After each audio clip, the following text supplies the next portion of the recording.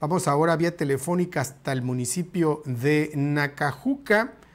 Cirilo Cruz Dionisio es secretario del ayuntamiento de Nacajuca y es que pues ha surgido una duda. Él ha ganado eh, un laudo que inició desde hace 18 años. Le gana al ayuntamiento, él está en el ayuntamiento, ahora es secretario de la administración municipal. Yo eh, agradezco que tome la llamada para que nos aclare el punto, porque al parecer pues ha desistido, pero quiero que lo confirme. ¿Cómo le va, secretario? Muy buenos días. ¿Qué tal? Buenos días a ustedes y a su amplio auditorio. Un saludo a todos.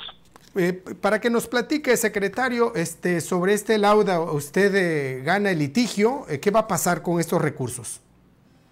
Bueno, mira, ese es un cuento largo de contar, pero vamos a abreviarlo.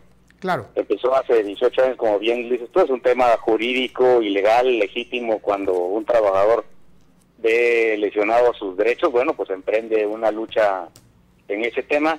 Y así lo hicimos nosotros junto con muchos otros compañeros en la Cauca, en ese tiempo pues este hubo una situación laboral que lesionaba los derechos de muchos. Y por fortuna una gran cantidad de ellos pues han tenido ya la manera de solucionar su problema nosotros eh, este laudo lo tenemos ganado hace 6, 7 años, tiene, como bien dices más de 18 años.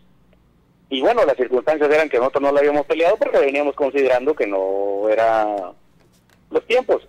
Por fortuna, bueno, ahorita la ciudadanía da la confianza a que una joven metida en el tema de la lucha de hace mucho tiempo, la licenciada Sheila, pues sea la alcaldesa de Nacajuca, con la licenciada Sheila nos une una relación no solamente de amistad con ella y su familia, sino también de lucha desde hace muchísimo tiempo, cuando ella era todavía una joven muy, muy entusiasta. Entonces nos llama a colaborar con ella y nosotros este tema lo conocíamos desde inicio y desde inicio le planteamos la situación de que había esa condición y que nosotros íbamos a solucionarlo. De tal suerte que ahorita, bueno, hemos tomado la decisión de ya no promover absolutamente nada de ese laudo. Eh, no vamos a hacer nosotros obstáculos para que a Nacajuca le vaya mejor bajo la dirección de la ciudad Sheila, que yo creo que es de los mejores municipios que hay ahorita en, cuanto a gobernanza, en cuanto a gobernabilidad, en cuanto a resultados, eficacia y el eh, trato hacia la gente. Entonces no, no, no estamos en esa tesitura de poder reclamar algo que legal, jurídica y legítimamente corresponde, pero que también socialmente ahorita consideramos que no es lo correcto. Eh, ¿Qué va a pasar entonces? Yo no sé entender, renuncia a, esta, a este laudo que gana de manera legal y por qué motivos lo hace.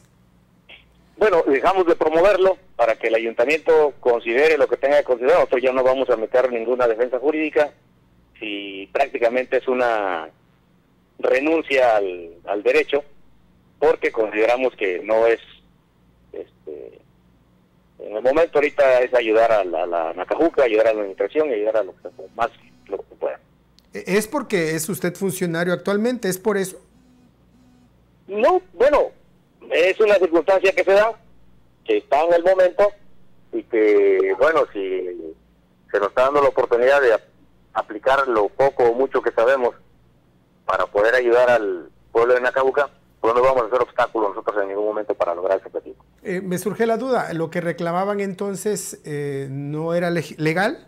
No, claro que sí, claro que era legal y es legítimo, solo que uno tiene la eh, decisión personal de decir declino a esto o no declino de acuerdo a las circunstancias y yo en este momento estamos tomando la decisión de ponerle un alto a esto y poder resolverlo de la mejor manera y una de la mejor manera yo creo que es dejar de promover, dejar de hacer cosas y que esto hasta ahí termine. Eh, eh, quizá por el tiempo el monto es alto, es como más o menos como 7 millones, pesos más, pesos menos, pero ¿cuál es el procedimiento para que haga, se haga efecto? Porque a, lo mejor este, con decir no lo quiero, pero alguien más pueda reclamar ese monto, tomando en cuenta que también hay otros eh, otros exfuncionarios o eh, otros extrabajadores del ayuntamiento que están en la misma situación?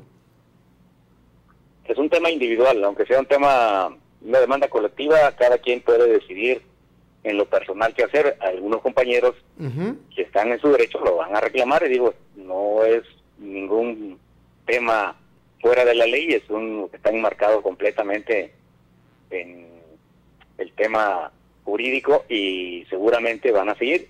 Yo en lo personal estoy decidiendo ya no continuar con esto y buscar la mejor salida. Y para que se concrete, secretario, ¿cuál es el procedimiento? ¿Plantearía usted el escrito o nada más Estamos emitiendo, en efecto, unos escritos de desistimiento ante los juzgados eh, que están involucrados en el caso y ellos determinarán qué es lo que tenga que pasar. Pero nosotros de manera personal hemos hecho esa situación. ¿Ni un solo peso, ni una sola parte de lo que se contempla como una indemnización? ¿Nada? Espero que los que saben de leyes, en este caso los juzgados, determinen lo producente, pero nosotros en lo personal hemos dejado de promover esa condición de, pago. ¿Es un acto de, buena voluntad? ¿Es el término correcto? Podría tomarse así, eh, aunque yo creo que es de responsabilidad también, eh, de decir, bueno, mm, los que estamos metidos en la lucha de esto desde hace muchísimo tiempo, eh, nos mueven otro, otro tipo de cosas y en su momento las decisiones que se toman son en ese sentido. Ni usted ni otra persona puede hacer eh, solicitud de algún cobro entonces. Esperemos que ninguna otra persona más. Muy bien.